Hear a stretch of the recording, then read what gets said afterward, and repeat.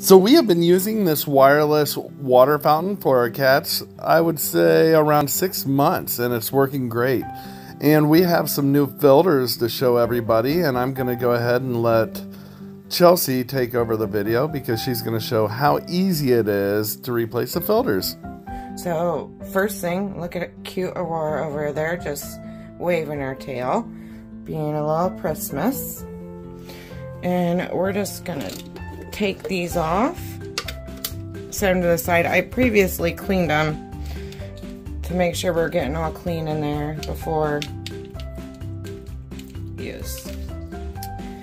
Also, there's um, a little filter piece in there that I washed out and cleaned before doing this video. So this is easy. The filter just comes out like this. Just on top there. And I'll just grab one. Just kind of nicely packaged.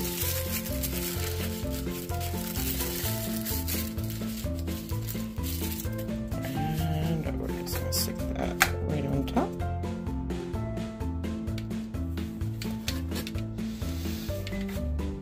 And then this goes inside, or this connects right there.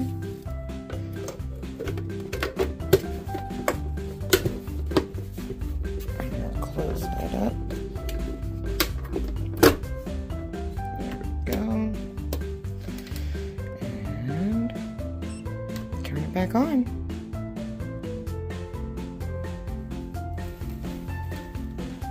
You want to test the waters, Aurora?